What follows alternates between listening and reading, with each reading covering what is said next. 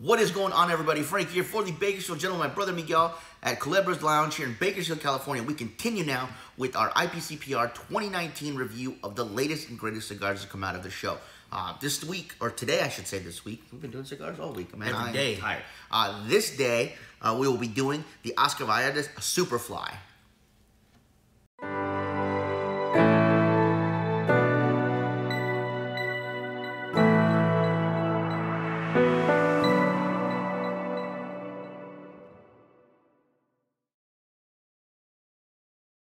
They actually had a couple cigars come out. They had the Superfly and they had the Wild Hunter.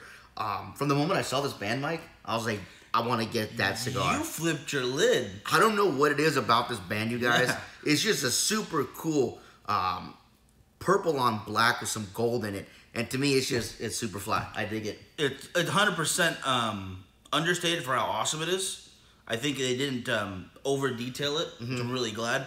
I, it's right. It's super fly, and it's such a difference between this and the um, the Wild Hunter. Yes. me. Um, I really like the way they went and completely polarizing opposites of each other. I Mm-hmm. do like when companies do their you know not matching but you know uniform look too. It's very elegant. This was a whole different direction, and I think that's uh, a very good idea to differentiate themselves. That's pretty awesome.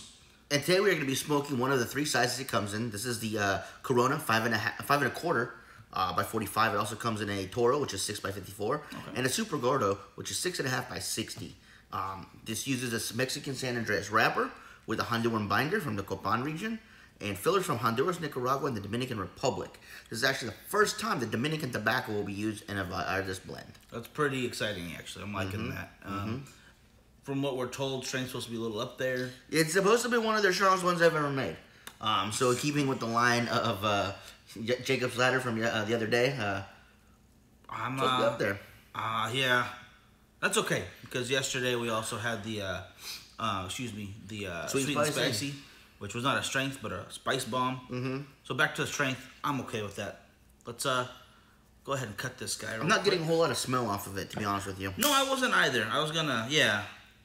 I, I was hoping for a, a quick cold draw.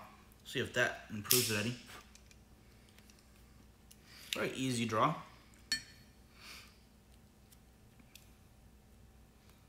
Hmm. There's definitely something there. Oh, there's spice right there, right off the bat.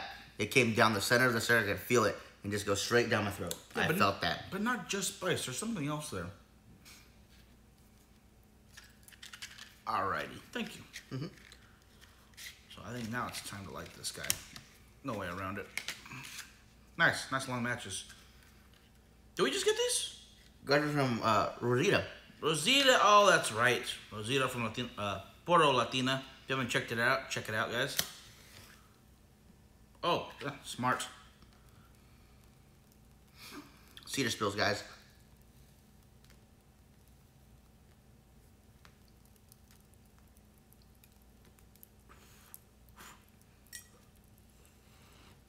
Super easy like that. Ooh, there's some good spice right there. Yeah. Right off the bat.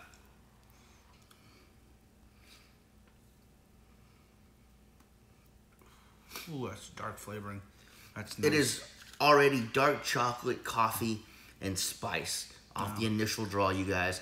It's a nice draw. It's not too tight. It's just in that nice, slightly restricted area that you're going to get a good draw off of But- it. Uh, however, I do feel to me this size is a little small. I'm curious to know why they went with this instead of a traditional Robusto size. Um, You know, I could, you know.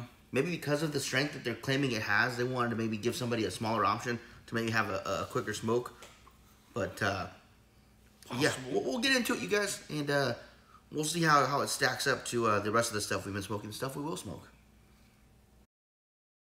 All right, guys. So getting through this first third, it's actually a pretty quick smoke. Uh, that's due to its thinner ring gauge and its ease of draw. Um, it's giving off plenty of great smoke. No issues with the burn line. Um, I do need to take my band off already, though. fantastic construction in my opinion. Um, the only issue I will say is that because of the thinner ring gauge, the ash is very delicate. Uh, so you're gonna want to ash it, or else you'll ash yourself. Um, I'll probably ash it twice per third, uh, but it's up to you what you guys want to do with it. You'd say it's still pretty good ash, though, right? It's holding No, on. it's definitely it's definitely stacking nicely. It's just with the thinner ring gauge um, and, and the semi-loose pack, I think that's in there. It, it's very delicate and it will fall off and you'll ash yourself. So you don't want to do that. Now to the important part, of the flavors. Uh, and keep in mind, I am pairing this with black coffee. Um, and I'm getting tons of coffee and dark bitter cocoa uh, in here. Uh, a little bit of wood there on the back note and definitely some nice pepper spice as well. Um, but all the flavors are mixing together, together, together, together beautifully, in, in my opinion. I absolutely agree. I'm having iced coffee with a little bit of cream in it. I wanted a little something sweet once you told me how um, uh, strong and how kind of it's really rich flavors. Everything you're you're saying as far as flavors go, I definitely agree with. And I like to add in that they're sticking around for quite a while. So it's not just oh once you let the smoke out, it's pretty much gone. It's a very Uh, long finish. A very long finish. I'm loving that. Um, the strength, you know what? Medium to medium full so far. you know what? I really haven't felt the strength kick any way, shape, or form just yet.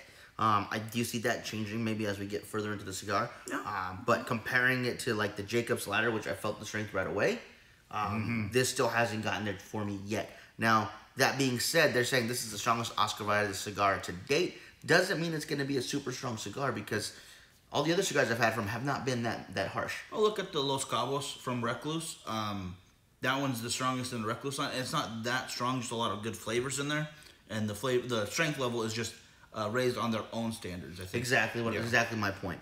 Um, so it is a strong it is the strongest cigar that Oscar Mayer has put out, but that doesn't mean it's one of the strongest cigars out there in the market, guys. Uh, and right now I'm super super enjoying the Superfly. Oh, 100 percent. All right, Mike, let's get into the next third. All right, guys, so getting to the second third, a lot of the same construction that we had in the first one. Uh, nice burn line, good smoke output, nice draw, but again, very delicate ash. I have ashed my cigar three times now, uh, and for a five and a quarter inch stick, that's kind of a bit to be doing every so often. Uh, but again, it is a thinner ring gauge, uh, so if you want to chance it and be very delicate with it, you can be. keep saying the word delicate a lot. Huh, interesting. Uh, careful with it, I guess you could say is a better word. Um, you can do that, or just ash it so you don't ash yourself, or ash the lounge that you're at. I yeah, I would uh, recommend just tapping it once in a while. Not a big issue. Uh, it's not like I need to keep relighting it or anything. I think that would be more of a problem for me. Um, or if it was really flaky, that would be. But it's not. Yeah. Um, the ash is holding together very well, but staying on the cigar itself, it seems like it would fall off very easily. And I haven't tested it. I just keep ashing it in the Yeah. ashtray. Don't want to find that out right now, honestly. Yeah. As far as flavors goes, you guys, uh, I'm getting a lot of same flavors. Uh, maybe just a tad less of the spice, but still getting that coffee, that deep bitter cocoa, uh, that woodiness in there as well, and uh, it's quite enjoyable. Yeah, very much. so. Pairing very well with the black coffee. Uh, It's going well with a little bit of sweet too.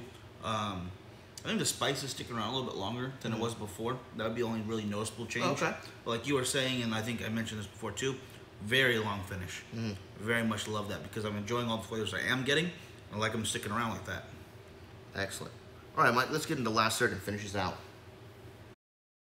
All right, guys, so we got down to the nub, getting pretty warm, so we went and finished them off right there. Able to smoke it down pretty far. Um, major key points on the cigar for the negative would be that it wasn't very transitional.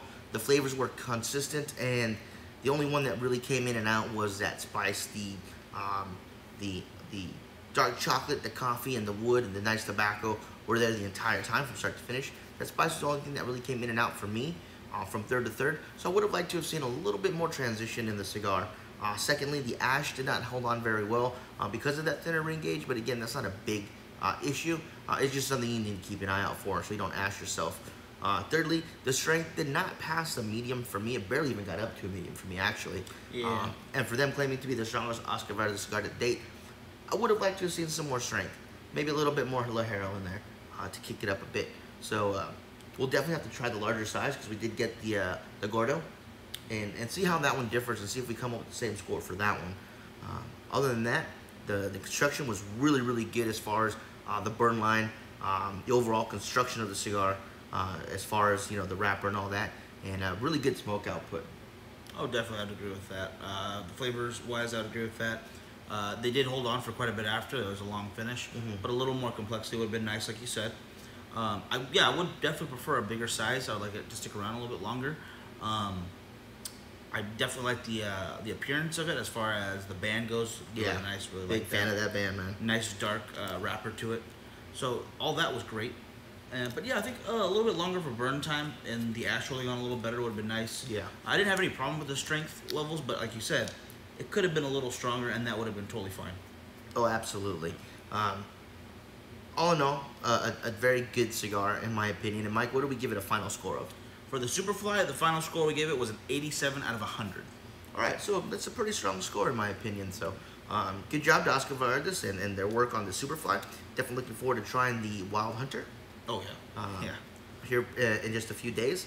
So we will continue with our IPCPR 2019 cigar reviews uh, tomorrow. Hopefully you guys enjoyed this one. Give us a like uh, and a sub on YouTube, and you can also find us on Facebook at the Bakersfield Gentleman and on Instagram and Twitter at bakogent661 to keep up to date with all of our reviews. And if you guys want to support the channel, you guys can always reach us on our Patreon at patreon.com backslash bakogent661, and we'll see you guys next time. Have a good one, guys.